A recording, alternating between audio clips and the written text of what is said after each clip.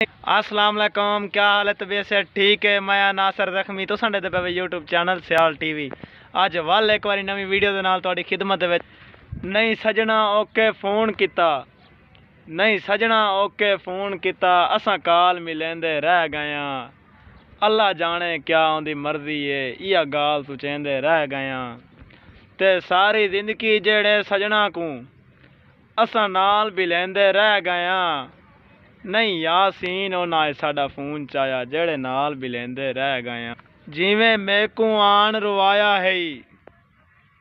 ਜਿਵੇਂ ਮੇਕੂ ਆਣ ਰਵਾਇਆ ਹੈ ਇਵੇਂ ਮੈਂ ਵਾਂਗੂ ਪਲ ਪਲ ਰੋਸੇ।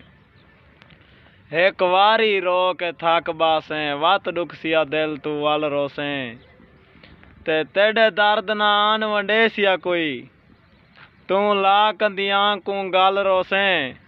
ਬਸ ਸ਼ਾਕਰ ਫਰਕ ਮਿਆਰ ਦਾ ਏ ਮੈਂ ਅੱਜ ਰੋਂਦਾ ਤੂੰ ਕੱਲ ਰੋਸੇ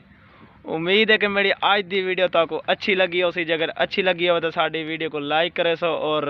साढ़े सियाल टीवी चैनल को सब्सक्राइब कर गिन सो ते बेल आइकन ऑन कर गिन सो